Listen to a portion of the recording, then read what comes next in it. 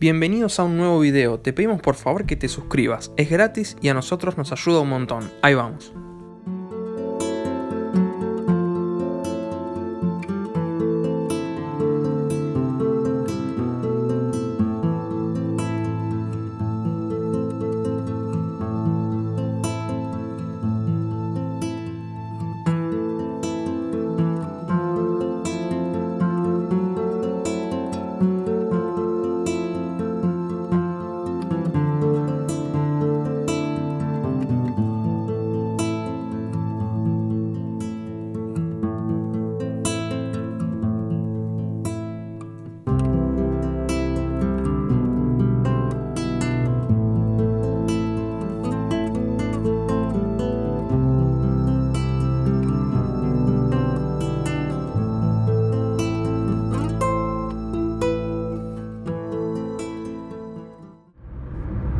Días a todos y todas. Eh, como pueden ver, estamos de nuevo en el auto y estamos a punto de agarrar la ruta de nuevo. Nuestro destino final va a ser Catriel, Río Negro. Pero antes vamos a estar pasando por el pueblo de Carué. En Carué es donde se encuentra la laguna, la laguna de Pecuén, que fue que en el año 85 se inundó el pueblo de Villa de Pecuén y quedó totalmente abajo del agua. O sea, hoy en día hay un solo habitante que, bueno, debe ser un señor que se rehúsa a salir de, de su casa, ¿no?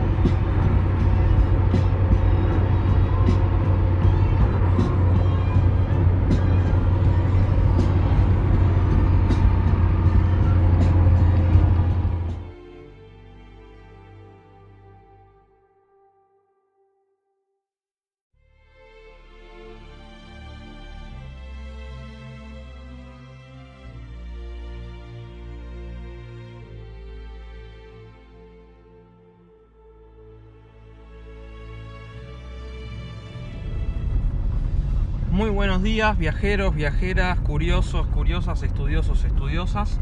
Estamos camino hacia las ruinas de Villa de Pecuén.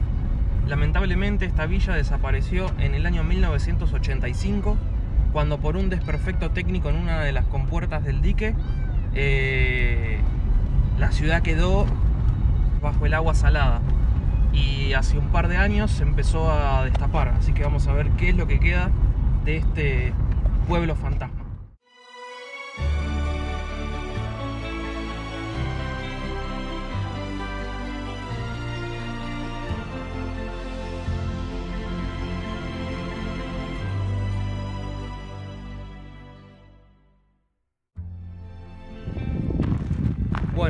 llegamos a las ruinas de Pecuén. Vamos a contar un poquito cómo es la historia de este lugar. Este lugar se fundó eh, cerca de los años 20, ¿sí? Y en la década de los 60 y de los 70 y los posteriores 80 fue un lugar muy turístico. Habían hoteles, eh, hoteles spa, vi- vivía gente en castillos. La verdad que era un lugar muy importante. ¿Y por qué esto era así? Porque se le atribuían propiedades curativas al agua de la laguna Epecuén. Es agua salada, es agua muy salada. Se estima que de un litro de agua, 200 gramos es sal, así que es muy, muy salado.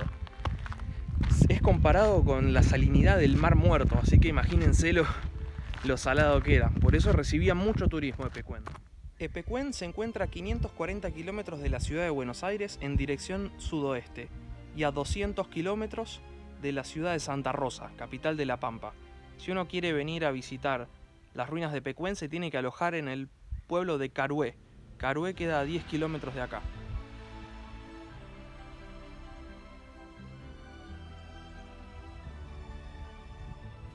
En noviembre de 1985, a causa de fuertes lluvias y una falla en las barreras de contención del agua, la laguna desbordó, inundando así todo el pueblo, dejándolo 10 metros debajo del agua salada. Todo quedó en ruinas, destruido. Vivían alrededor de 1500 personas fijas en este lugar. Así que todas estas personas tuvieron que irse de sus casas. Algunas se fueron a Carué, que es la ciudad más cercana que está acá a 10 kilómetros. Y otras no se sabe porque era 1985, las comunicaciones no eran lo que es ahora. Según los expertos, en los días de más calor del verano, el agua bajaba un centímetro por día de nivel.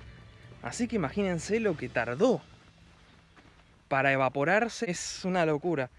Un centímetro por día, hagan la cuenta.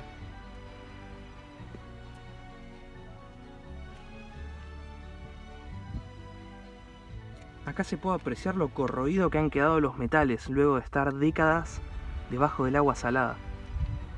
Es increíble, están todos oxidados y todos comidos. De los 1500 pobladores originales de Pecuén, actualmente solo queda uno, el señor Pablo Novak. Uno se preguntará, ¿por qué uno no se irá de un lugar que quedó sepultado bajo del agua? Bueno, según lo que cuenta el señor, él no se fue porque tenía 10 hijos en ese momento y él tenía un campito y en ese campito criaban animales, cultivaban cosas, etc. Así que decidió quedarse acá.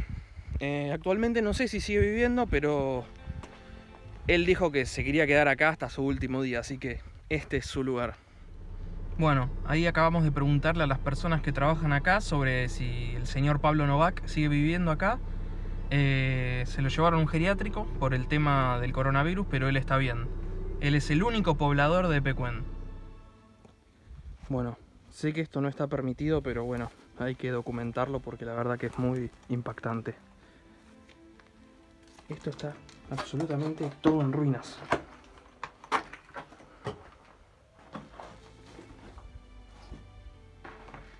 Imagínense lo que debía ser esto. Una casa, un hogar con una familia, frente a una laguna. Y hoy en día está reducido a escombros. Completamente. Como todo el pueblo. Tiene toda la pinta de haber sido una, una ducha esto, con una bañadera espectacular.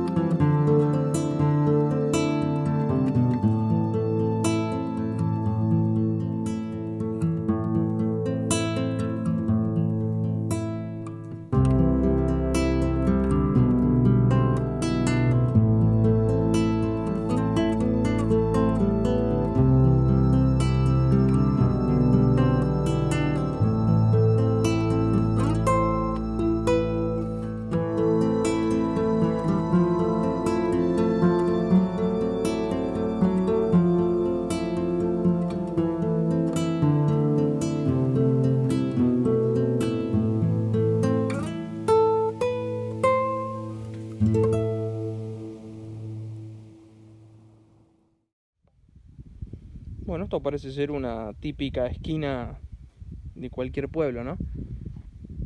Pero ahora vemos así y vemos ruina por todos lados. Este lugar en la década de los 60 y los 70 funcionó como una pizzería, la pizzería La Gallina Verde, que atraía niños y adultos por su ecléctica decoración.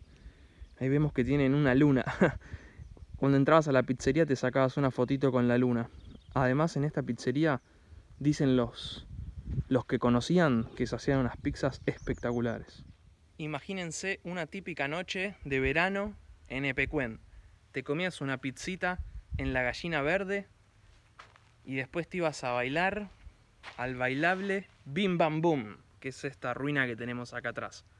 Un planazo. Bueno, acá encontramos el tocadisco del Bim Bam Boom. Impresionante. Bueno, acá por lo que vemos, la evidencia del plato y de todas las botellas, claramente este lugar era un lugar gastronómico. Otra cosa que nos invita a pensar que era un lugar gastronómico es esa estructura, que para mí eso era un mega horno de barro. No sé a ustedes qué les parece, déjenlo en los comentarios. Como es típico de cualquier vacación en la costa atlántica bonaerense, el souvenir más famoso son los alfajores y en Epecuén no se quedaba atrás. Acá funcionaba la alfajorería Cambasita. Hoy en día no queda nada, solamente el recuerdo de aquellos que pudieron saborearlos. Acá se ve la imagen un año después de la inundación. Y esto es cuando estaba en pleno auge. El Hotel Hispano Argentino. En el año 2008 se registraron 2 metros en la altura del agua, ahí en la zona del hotel. Así que en 13 años se bajaron esos 2 metros y hoy en día podemos caminar por acá. Este predio que tenemos aquí a mis espaldas antiguamente era la Plaza San Martín, Hoy en día está completamente tapada por agua, pero yo estimo que en un par de años ya va a estar lista para volver a ser caminada de nuevo. Acá hay un registro que dice hasta dónde llegó el agua. Hasta ahí. Tremendo. Toda esta parte que estamos ahora era el balneario municipal. Imagínense, lleno de gente, sol, espectacular. Por allá se ven unos toboganes también que después los vamos a mostrar. Ahí hay un mástil.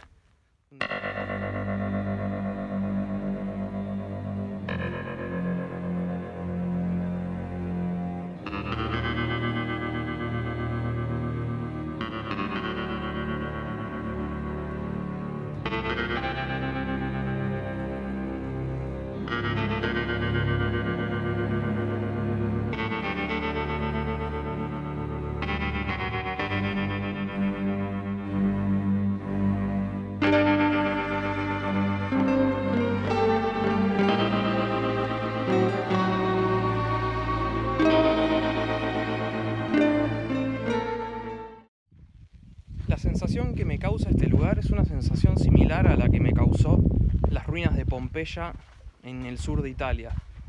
La verdad que se siente una como una vibra, bueno, por supuesto de mucha tristeza y desolación, pero bueno, esto es una muestra viva de, de nuestra historia y de los sucesos que tuvo que soportar la humanidad una y otra vez.